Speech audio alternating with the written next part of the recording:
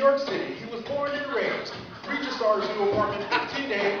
Chillin' telling jokes and putting on a show. Don't believe me, you should watch our family YouTube videos. And you already know, he's always up to no good. So thank God he found a girl from around this neighborhood. Just like Urkel got Laura, you found your special girl like all it took was 1962. Hey, Aurora! friends, which was the friends.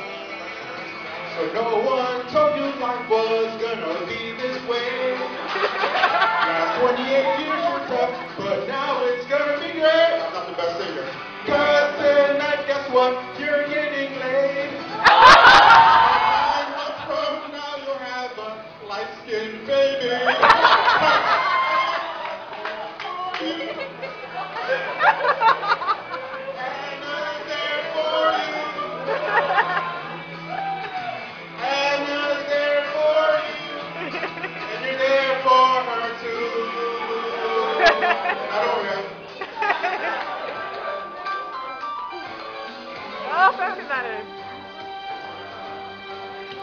It's a rare condition this day and age to read through your book without an embarrassing page.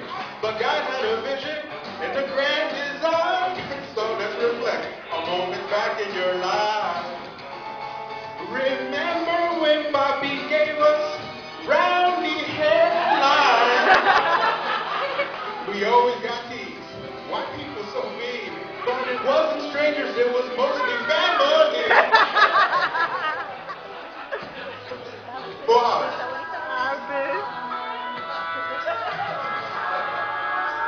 Remember. We're winding down on this sitcom themed speech with an all-time classic in the Arzu family.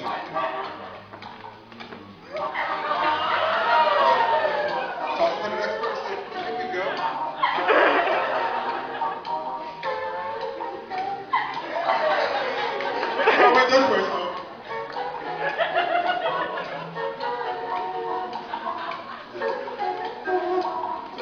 We're surround Junior. You remember this?